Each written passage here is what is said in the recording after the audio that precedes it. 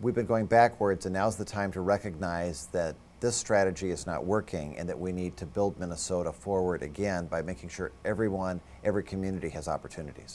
I hear continual frustration about that because there really is, um, there's nothing else that we can do except either cut services to the public or raise taxes to cover, to keep services at the uh, current level. And uh, we've cut all of the low-hanging fruit at this point. We're down to the, cutting into the bone right now and uh, it's, uh, it's a sad state of affairs in Minnesota.